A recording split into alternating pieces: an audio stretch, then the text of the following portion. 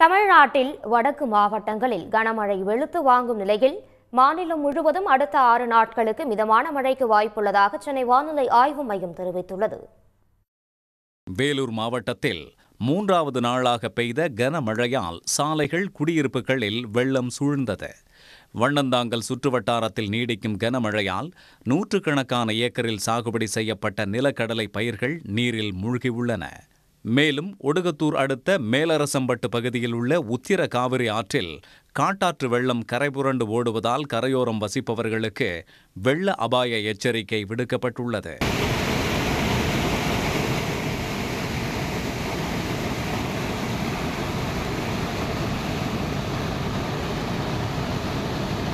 வேலூர் மாவட்டம் காட்பாடி பழைய காட்பாடி உள்ளிட்ட பகுதிகளில் நேற்று முன்தினம் பதினான்கு சென்டிமீட்டர் மழை கொட்டியதால் சாலைகள் குடியிருப்புகள் வெள்ளக்காடாக மாறின. இதையடுத்து வருவாய்த்துறை மற்றும் மாநகராட்சி அதிகாரிகள் ஜேசிபி மின் மோட்டார்களை கொண்டு தண்ணீரை வெளியேற்றினர். இந்த பணிகளை நேரில் ஆய்வு செய்த மாவட்ட ஆட்சியர் சுப்புலட்சுமி பாதாள சாக்கடை பணிகள் முழுமையாக நிறைவடைந்ததும் மழைநீர் தேங்குவது முற்றிலும் தவிர்க்கப்படும் என்றார். நாலு சென்டிமீட்டர் அளவு மழை பெய்துள்ளது.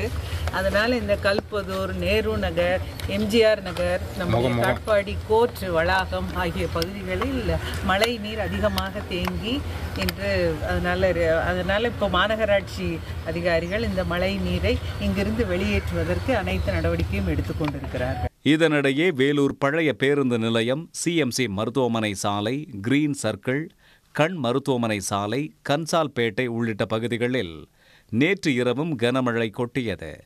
சாலைகளில் தண்ணீர் பெருக்கெடுத்து ஓடியதால் வாகன ஓட்டிகள் அவதிக்கு உள்ளாகினர். வேலூர் சத்துவாச்சாரி ரங்காபுரம் காட்பாடி தொரப்பாடி வேலப்பாடி உள்ளிட்ட பகுதிகளில் இடி மின்னலுடன் கனமழை பெய்தது. கொடைக்கானலில் கடந்த சில நாட்களாக காற்றுடன் சாரல் மழை பெய்து வருகிறது.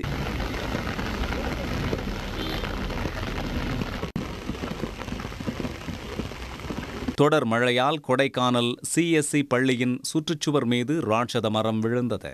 நெல்லையில் நேற்று மதியம் பெய்த கனமழையால் நைனார் குளம் சாலையில் மிகப்பெரிய கொடுக்காப்புளி மரம் சாய்ந்து போக்குவரத்து பாதிக்கப்பட்டது. உடனடியாக நிகழ்விடத்திற்கு விரைந்த தீயணைப்பு படை வீரர்கள் சாலையில் விழுந்த ராட்சத மரத்தை அகற்றி போக்குவரத்தை சீர் செய்தனர். விருதுநகர் மாவட்டம் ஸ்ரீவில்லிபுத்தூர் சுற்றுவட்டாரத்தில் பெய்த கனமழையால் பிளவக்கல் பெரியாறு அணையின் நீர்மட்டம் ஒரே நாளில் இரண்டு அடி உயர்ந்துள்ளது.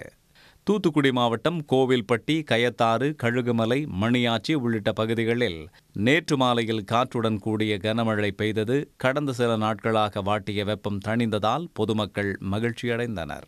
இதனிடையே தமிழ்நாடு மற்றும் புதுச்சேரியில் வருகிற பதினெட்டாம் தேதி வரை மிதமான மழை பெய்யும் என்றும் கோவை நீலகிரி மாவட்டங்களில் இன்றும் நாளையும் கனமழை பெய்ய வாய்ப்புள்ளதாகவும் வானிலை மையம் எச்சரித்துள்ளது. சன் நியூஸ் வாட்ஸ்அப் சேனலை ஃபாலோ செய்யுங்கள். கியூஆர் கோடை ஸ்கேன் செய்து சன் நியூஸோடு இணைந்திருங்கள்.